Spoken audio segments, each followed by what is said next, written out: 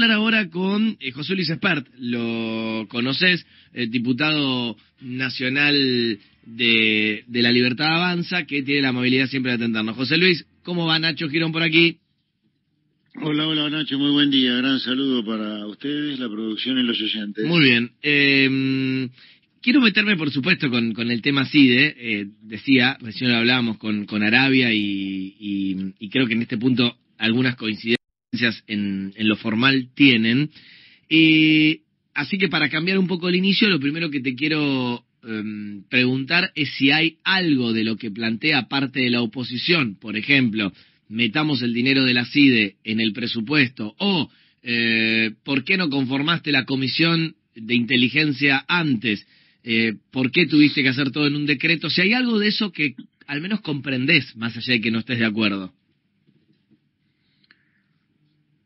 No, no, no. lo comprendo porque si, la, si, uno de los argumentos es la Comisión de Inteligencia, es el argumento para justamente postergar mm la sesión solicitada ayer por parte de la oposición, mm. porque la, la, sesión de ayer para tratar el rechazo del DNU fue justamente los que estaban in, con intención de rechazar el DNU. Yo digo, si el día anterior se conformó la Comisión de Inteligencia, la Bicameral de Inteligencia, con la presidencia de Martín Lustó, bueno, justamente era una manera hasta, hasta hasta de darle protagonismo a Martín Lustó de la UCR, del bloque de la UCR, que pidió la sesión de ayer que la postergara hasta que la Comisión Bicameral tratara los fondos reservados. Porque hay una cosa importante acá, dicho sea de paso, para que la gente lo entienda.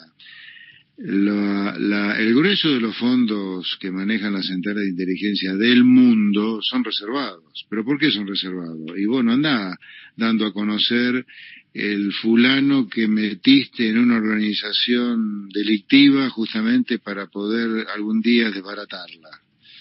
No son reservados, no son reservados ni los fondos ni los personajes que participan probablemente para la bicameral de inteligencia. Ahí no hay nada reservado, se puede hacer una trazabilidad perfecta de los fondos.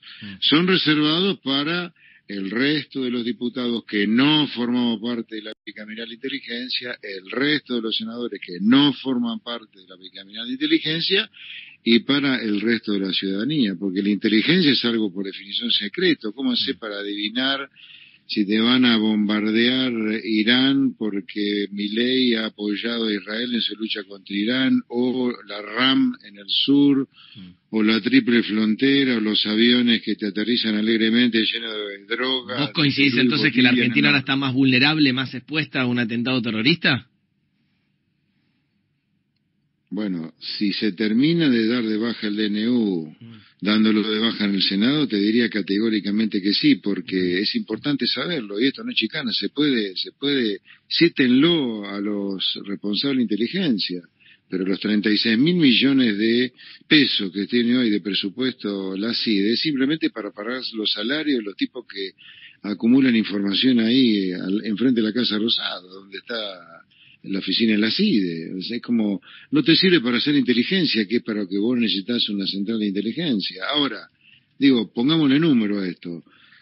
El presupuesto de 36 mil millones de pesos que tiene hoy asignado la CIDE, más los 100 mil del DNU eh, del presidente Milei, suman 136 mil millones de pesos, eso es 1% del gasto público total de la Argentina. Mm y es el 3 por mil del PBI. Entonces estamos hablando de 2 pesos con 50 para hacer inteligencia a un país que ya sufrió ataques terroristas como fue la voladura de la Embajada de Israel, la voladura de la AMIA. Así que me parece que está haciendo algo mm eh, tan gordo de la nada sí. es simplemente por cuestiones políticas. No tengo duda que acá está metida la política. Y ahí no coincido, coincido con vos y ahora quiero ir a esa situación, pero ahí crees que el gobierno podría haber hecho algo mejor, por ejemplo, primero conformar la comisión de inteligencia y después eh, mandar el decreto con una ampliación tan grande, ¿no? Porque digo, 100 mil millones, sí. que son 100 y 9 ceros, eh, es, sí. eh, es bastante. Sí, sí, sí, podría.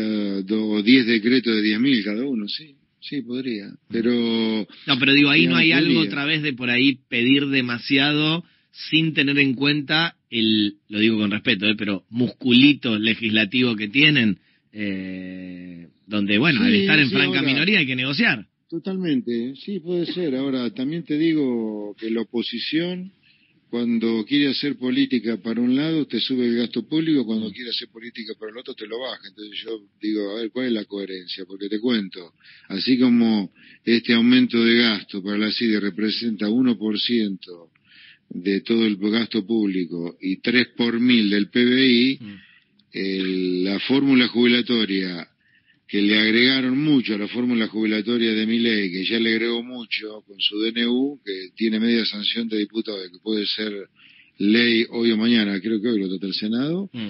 eh, representa no 3 por mil del PBI, representa, o sea, 3 por mil del PBI es 0,03% del PBI, para que la gente lo tenga claro. Mm, mm. Esa fórmula jubilatoria representa 0,5 del PBI, o sea, representa 15 veces más de lo que representa el gasto de la CIDE. Entonces, no al gasto de la CIDE, que es poco comparado con el gasto jubilatorio, que es 15 mm. veces más, cuando no hay financiamiento para medio punto del producto, pero sí lo hay para 3 por mil, bueno.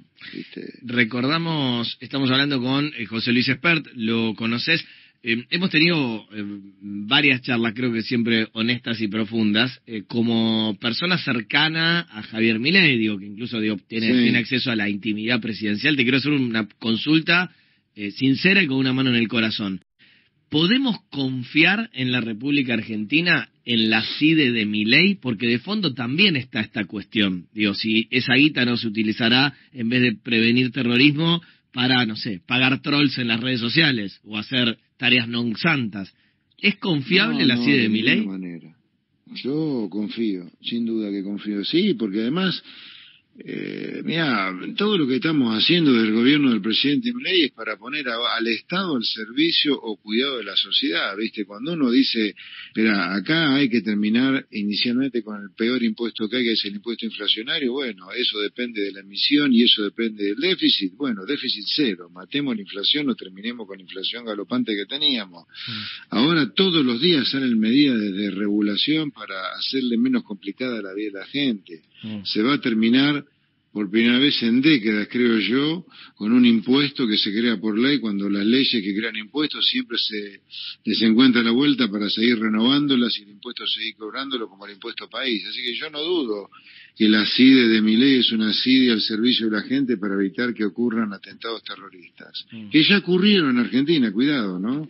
No es que no ocurrieron nunca y acá estamos fantaseando o flasheando para recaudar fondos reservados que no se rindan cuenta, que además es mentira que no se rindan cuenta porque, le repito, la bicameral inteligencia sabe perfectamente que se van a gastar esos 100 millones. No, está bien, también es verdad que se han utilizado en el pasado fondos, fondos reservados para encubrir el atentado a la AMIA, ¿no? Y, no para dilucidarlo. Claro, claro, Creo que vamos a conseguir en eso porque gobernando, estaba gobernando una asociación ilícita como la de del No. Ah. no es el caso eh, del presidente Milei que está haciendo todo lo necesario para que el Estado le sirva a la gente. Mm, mm. Eh, lo último que te pregunto, que, un poco hacías referencia recién a, la cuestión estrictamente eh, política. este conflicto, el de la CIDE, ¿se reduce en algún punto al enfrentamiento de Mauricio Macri con la Libertad Avanza o Mauricio Macri contra Santiago Caputo? ¿Hay de fondo eso? No, a ver, yo creo que, mira, la intención tanto del presidente Milei como de Mauricio Macri es la intención. Si se llega o no es otra cosa, pero se está trabajando con la idea de armar una lista única para el año que viene y así empezar a derrotar al kirchnerismo, particularmente en la provincia de Buenos Aires, que es donde están haciendo nido ahora, para reproducirse a partir de ahí. Nosotros tenemos claro, y el PRO también, que acá hay que ir juntos para poder derrotar al kirchnerismo, porque la gente no perdonaría el error del año pasado y porque además si no, no le ganás al kirchnerismo en la provincia de Buenos Aires. Lista juntos también en la ciudad, ¿no? Que digo, es el gran terruño de Mauricio Macri, que creo que le preocupa mucho. Sí, yo te hablo de la provincia de Buenos Aires, que es lo que conozco porque, mm. digamos, yo nací en provincia de Buenos Aires y vivo en provincia de Buenos Aires y estamos trabajando con el presidente en un proyecto de poder para la provincia de Buenos Aires. Mm. Ahora, eh, que en el medio se muestran los dientes de ambos lados para la conformación de la lista y yo creo que esa discusión política ya empezó y ayer me parece que ya empezó eso, pero yo no lo magnificaría Macri ahora a favor del terrorismo, no, mira, es la política, sí, viste, es la política. La política es esto, bueno, es así. Si no te gusta el durazno, si, perdón, si no te banca la pelusa, no coma durazno, viste. A mí me gusta el durazno y me banco la pelusa. No voy a salir a, ¡ay, qué horror lo que pasó ayer! Mira, es la política, viejo, es así. Cada vez que te pueden hacer daño, dentro de cierto límite, los más cercanos te lo van a ah, hacer. Una cosa que te haga daño Kisilov y otra Macri igual, ¿no? No es lo, no es lo mismo. No, no, no. Mira, son las reglas de juego. No, no, no. Kisilov, Kisilov como es un inútil, obviamente te va a hacer daño siempre porque no tiene ninguna chance de hacer algo bien porque es un inútil esférico, inútil por donde lo mires. En el caso del resto de, de la política, la UCR, hacemos coalición federal, eh, coalición cívica, hasta el PRO, bueno, cuando puedan te van a raspar un poquito, si estuviéramos en un partido de fútbol, ¿viste? Te van a raspar, te van a raspar. Bien, lo dice... Algunos, sí. algunos porque si no pierden la razón de ser, si no te raspan, y otros porque, bueno, te están disputando la conformación de listas, por mm, ejemplo. Mm. Bien, eh, José Luis Esper con nosotros siempre tiene la amabilidad de, atendernos, hoy hablando por supuesto sobre el tema que, que, se ha robado, eh, buena parte del protagonismo de la actualidad política argentina. José Luis, será hasta la próxima. Un placer, muy buenos días. Gran abrazo.